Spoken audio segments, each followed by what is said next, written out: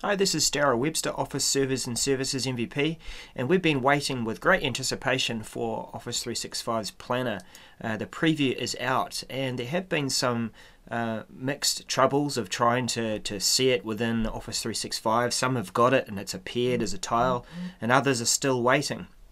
And we've received a, a message this morning in uh, the Office Office 365 admin portal and our message center.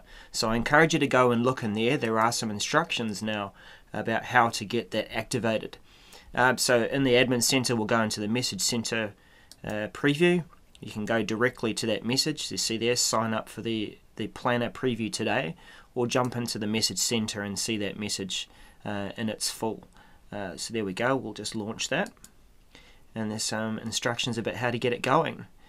So we first of all have to open an in private browser session as you often do with uh, getting into different services with Office 365 uh, without trying to mix environments. So let's bring that window over there, we'll drop in the link.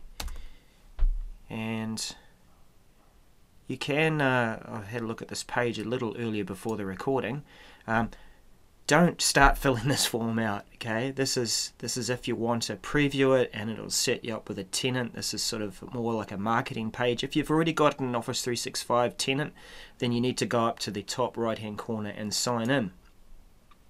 So as we sign in then it'll be able to um, add it to an existing tenant.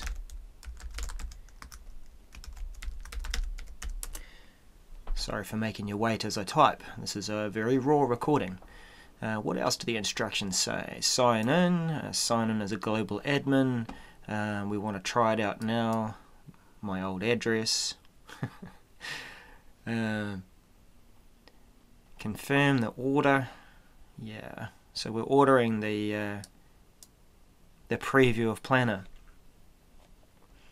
So um, it looks like we're being guided to go through that process uh, because uh, the the provisioning or automatic provisioning um, hasn't been as smooth as as uh, Microsoft would like.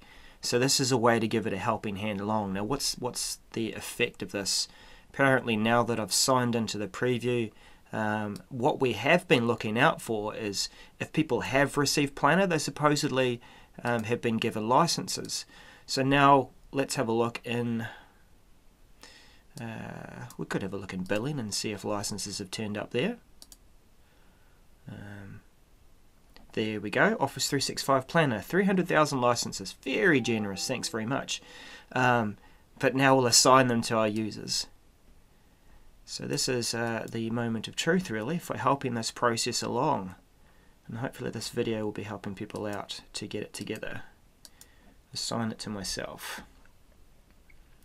and assign the licenses. What have we got? We've got uh, an E3 and we're going to assign a planner license. Now I've got no idea how long this takes to provision. I'm hoping that as I save it uh, that it will uh, provision the service and if I'm lucky maybe that tile will now be in the nope definitely not in the tile um, area yet in our app launcher.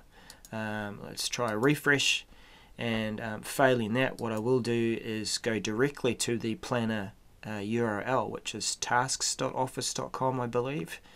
Um, so let's just have a look in our app launcher now. We've got planner. We had planner. It disappeared. Um, let's try that again.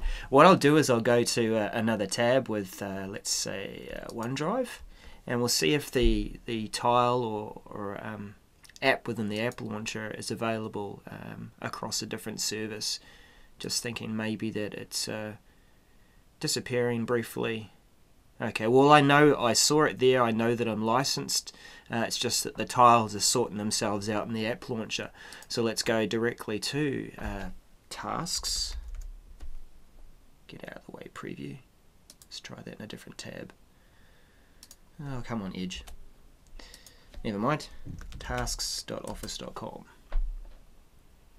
Now, beforehand, when I was signing in here, um, we were saying it's not quite ready for you yet. Now, this just gives me the, the additional feeling that the, the planner service is feels like it's a separate service to Office 365, and maybe it um, is sitting alongside it. So we're signing into it as if we were signing into the SharePoint service um, or Exchange service. Forgive the beeps and buzzes. Like I said, it's a very raw recording. And we're in. How about that? I'll stop here. I mean, I I very much like to, to jump in and start playing um, my tasks. I can jump in and start putting things together and put together a new plan. But the point of this video, ah, there come my groups. So my groups are there, and now I'm sure that I'll be able to add a plan to each of those groups. Um, but yeah, the the point of of uh, this video is to try and show you how to get Planner provisioned, and so you yourselves can start working with it and and mucking around. So that's the end of the video. Hopefully this will uh, help. It's only five minutes long, um, and uh, thanks for watching. Get stuck into using Planner.